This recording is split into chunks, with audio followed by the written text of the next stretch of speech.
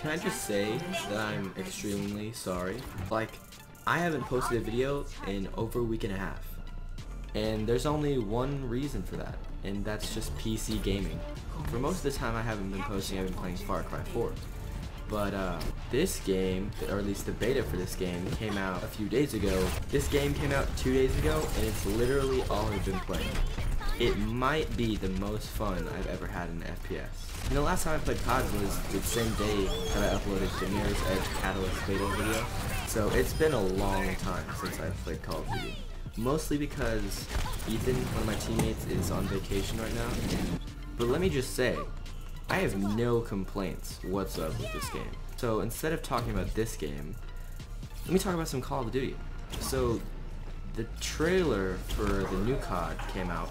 It's getting a lot of hate. I didn't really expect the trailer to get a lot of hate since it had like a COD 4 remastered thing at the end. But apparently people are mad. And people are really mad that Call of Duty is not boots in the ground. And as long as the game is still a good game, I'll enjoy it. I haven't really ever hated a COD though. Every single COD I played I didn't really enjoy, but I've never like hated a COD so much that I just stopped playing the game. I always kept playing, even though I didn't really like it as much as other CODs. I still enjoyed it. What is this thingy? Yo, do you see this?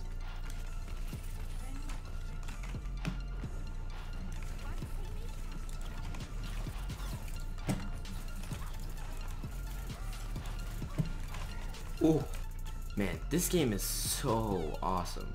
Like, it's so colorful and just the idea of it and all the characters that they have in it. And it's just a beta. It feels like a full game and it's just a beta. Oh, dude, that was some teamwork right there. But anyway, like I was, let me talk about COD 4 Remastered. So if you didn't hear, uh, Infinity Ward is releasing a remastered version of Modern Warfare or COD 4. And a lot of people are excited about it. But Infinity Ward said that the game itself is not going to come with the COD 4 remastered. So if you just buy the $60 version of it, Infinite Warfare, then it's not going to have the COD 4 remastered version.